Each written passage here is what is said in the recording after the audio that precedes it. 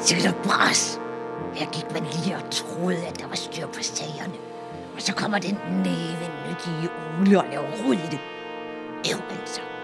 Det bare gerne være i fred. Det skulle man da synes, man kunne. Ikke sådan et nyt bibliotek. Hvad ligner det? Sikkert fuld af børn og alt muligt fnader. Jeg hader børn. Hvorfor kan man ikke bare få lov til at sidde og gnaske i en gammel bog i fred? God årgang, denne her. Ikke ligesom de nymodens e-bøger. Strøm i tænderne. Oh, au. Nu finder hun sikkert nøglen, og så åbner det møgbibliotek. Øv, hvor jeg ikke gider. Jeg er altså nødt til at få sat en stopper for det. Men øv, hvor jeg ikke gider. Aha, hvis jeg nu finder nøglen før det elendige fjerkrig, så gemmer jeg den bare igen, og så kan biblioteket slet ikke åbne alligevel. Jeg sniger mig efter og ødelægger det for hende. Knik, knik,